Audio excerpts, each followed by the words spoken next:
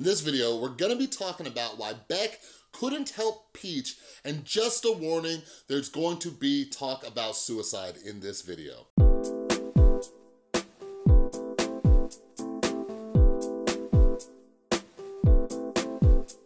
What is up, everybody? This is Chris from The Rewired Soul, where we talk about the problem, but focus on the solution. And if you're new to my channel, my channel is all about mental health, and what I like to do sometimes is pull different topics from pop culture, like shows on Netflix you might be watching, to teach you how to improve your mental and emotional well-being. And in this video, we're actually gonna be talking about how to help a friend who might be struggling with their mental health, all right? So make sure you subscribe and ring that notification bell. Before we get started, you guys, we, at this moment in time, we are only 1,700 people away from 10,000 followers on Instagram. You guys are amazing, but we're so, so, so close. So if you haven't yet, go follow me on Instagram, at The Rewired Soul. I'm trying to help you all out and help myself by making things easier by getting the little swipe up feature for Instagram stories. So go follow me over on Instagram, tag your friends, tag your friends and tell them to follow me too. And we'll do this thing together, baby. So yeah, we're gonna be talking about the show You over on Netflix. Great show. Tristan and I actually have one more episode to watch. We're about to watch it as soon as I record this video. But if you have not watched the show You yet, or if you haven't gotten to episode nine, uh, there's gonna be spoilers. So if you're in the middle of the season or you haven't watched it yet, turn this video off, come back later. Or if you're not planning on watching the show and you just wanna learn some stuff about mental health, stay tuned. All right, but anyways, yeah, we're gonna be talking about Peach and Beck. Mainly Peach. Yeah, mainly Beck, all right? But yeah, so what we're gonna be focusing on is Peach threatening suicide or even uh, attempting suicide, right? So this is something that comes up quite a bit and that's why I wanna talk about it. So just a little quick recap of the show. When um, Beck got into a fight with Peach, Peach ended up taking a bunch of pills, calling up Beck and saying, hey, I just took all these pills. Beck races over with uh, Joe and they go over there and Joe finds out that she didn't really take like anything that could really kill her. And Joe had to have this awkward conversation with Beck about how she didn't take anything that would actually kill her, right? But what Beck tells Joe is that, you know, this isn't the first time that Peach has done this, all right? And this is something that a lot of people deal with, okay? Um, I've made videos about suicide before and things like that, but a question we get a lot is like, like how do you know if someone's serious? How do you know if somebody's telling the truth and all of that? So as we find out later in the season, like Peach is manipulating Beck a ton. And by the way, I put up a poll over on my community tab about what topics you want me to cover. Like everybody chill out. I'm 99.9% sure I'm gonna cover all those topics as well as more. I just wanna see which ones you wanted first. Um, but anyways, uh, I'm gonna do another one about Peach gaslighting uh, Beck. But yeah, Peach was manipulating Beck. And this is what we call holding somebody as an emotional hostage, okay? So this might be your friend, this might be a significant other. I think the instance that I hear about the most is if you break up with me, I'm going to kill myself, all right? This happens a ton. A lot of you came to my channel from my Illymation videos, right? And one issue that Illymation had was that, that dude Harris kept threatening to kill himself, right? And this is a way that people keep control over us, okay? So here's some tips on how to deal with this. The first major important thing to understand, and, and it's gonna sound harsh at first, but bear with me. First important thing to understand is you cannot save anybody, okay? You are not a licensed therapist, you are not a psychologist, you are not like a doctor or an EMT or anything like that. You cannot save anyone. So one of the things that we do is we take way too much responsibility for other people's emotions and actions, all right? So you have to remember that you cannot save anybody. Now, this is something that I had to learn. Some of you who have watched um, my videos about how many people I've lost, most of them are former clients. Um, some of them are people I, I knew outside of work and outside of my clients. But, you know, as of recording this video, I've lost about 76 people in the last three and a half years or so.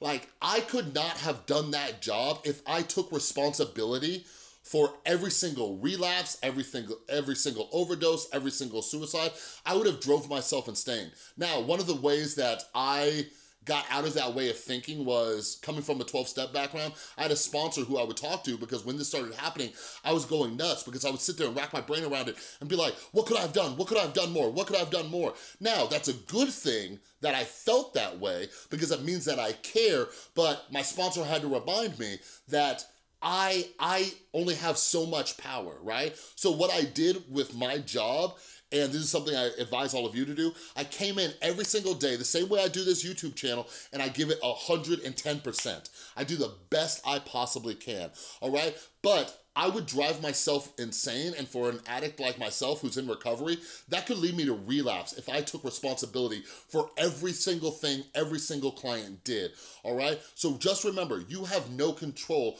over what somebody else does. Once you get rid of that illusion of control, it can start helping. Now, the reason why that sounds harsh is because some people who are watching this video are gonna say, oh, well, does that mean I just shouldn't care? It shouldn't matter? No, that's not what I said everything, everything is about balance, right?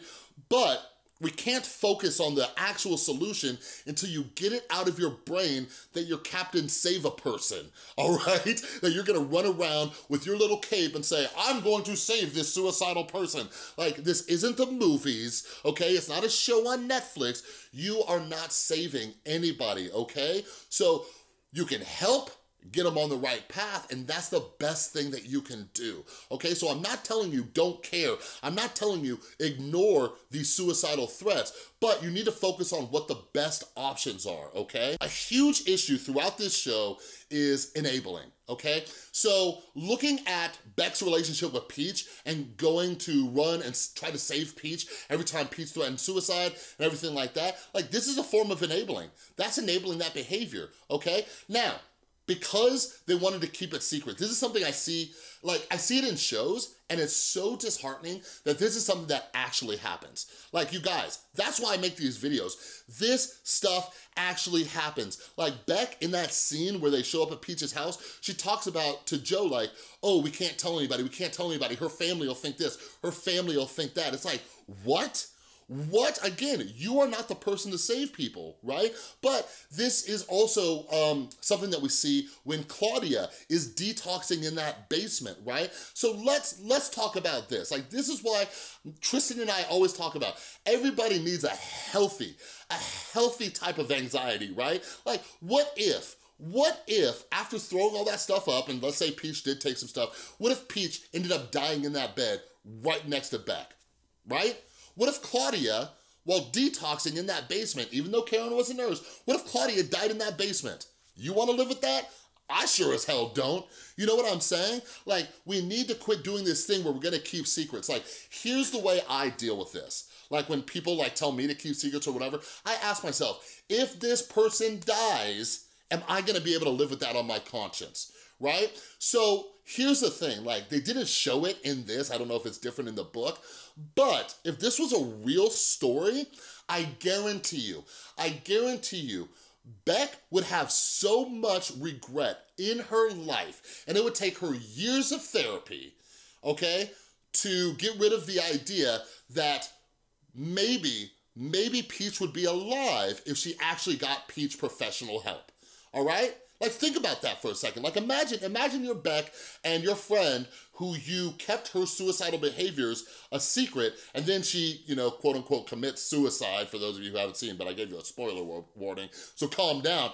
But Beck, thinking that Peach did commit suicide, any actual person would sit there staying up at night, hating themselves, wondering, what could I have done more? What could I have done differently? And one of the first thoughts in her head was, maybe I should have told her family, Maybe I should have called 911. Maybe I should have got a professional help, right? Same thing with Claudia in that basement. Like, you gotta quit covering up for people who are sick, okay? You are not a licensed professional. And even the, in the case of Karen helping Claudia, Karen is not the person to help, right? For example, when I was getting clean and sober, my mom, even though she has a PhD in psychology and is a, was the clinical director at a rehab center, she was not the person to help me. We're too close, okay? That is not how this thing works. So a real quick story, my, my best friend who I grew up with, he has been sober for over three years now. And he used to call me up drunk suicidal, and all of that. And the one thing he would always tell me is, don't tell my parents. Don't tell my parents, because his family was like my family. It's like, don't tell my parents. And uh, what happened, this is the first time I thought it, but one night when he was drunk and suicidal, I sat there thinking and said, if this dude goes out and kills himself, am I gonna be able to live with myself knowing that I didn't tell his parents, which might have saved his life? So I had to weigh the options. I had to weigh it, okay? On one hand, I tell his parents, and my, my best friend in the world hates me. Hates me for that, right? But on the other hand, I tell his parents, and maybe it saves his life. Now, when I look at it like that, when I look at this thing very life and death, black and white, the decision was simple. So I called up her mom, his mom, who's like a second mom to me. It broke her heart and she was crying, but guess what? We got my buddy into rehab. He's been sober over three years now and lives an amazing life because I made that hard decision and didn't care if this fool got pissed off at me because I was trying to save his life all right? So I want you guys to remember that. Like, again, I'm not saying don't be there for your friends who are struggling with depression, who are suicidal, but too many people out there are suffering far too much because people like you and me think that we're gonna save them rather than getting them professional help, rather than talking to their parents about it or their family about it. Now, there is a right way to do this, so don't just like go run off and be like, hey, Sally is suicidal. Like, don't, don't, don't do that like but i just wanted to kind of set in the groundwork like if you need to like what i would recommend is like if you have a therapist, talk to your therapist, talk to a mental health professional. Hell, call the suicide hotline and be like, yo, like, I have a friend who's doing this. What do you think I should do? Like, they're 24-7. Call them, ask them what you th they think you should do to help your friend. The best thing you could do to help your friend is to guide them to a place that will help them, okay? Like, it's almost like addiction. Like, do not do anything that will enable them to keep doing this thing, but do everything in your power to help them get the help that they need, right? So even though I can't save you, I will go with you to a therapist. I will go with you to a doctor. I will go with you to an ER. You know what I'm saying? Like part of uh, what, what they were afraid of was Peach was like, oh no, they're gonna put me on a 70, uh, 72 hour hold. I don't give a Ugh.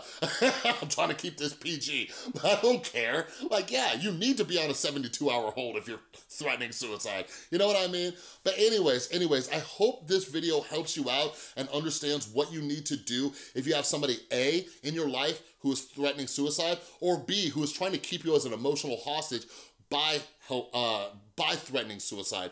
Real quick, because I didn't cover this in this video, if somebody is continually doing this with you, you need to go get therapy. You need to get some help. You need to learn how to set up these boundaries, okay? all right, but anyways, that's all I got for this video. I have a bunch of more You from Netflix review videos coming up, breaking down characters and all that. But if you like this video, please give it a thumbs up. If you're new, make sure you subscribe and ring that notification bell because I make a ton of videos. And a huge thank you to everybody supporting the channel over on Patreon.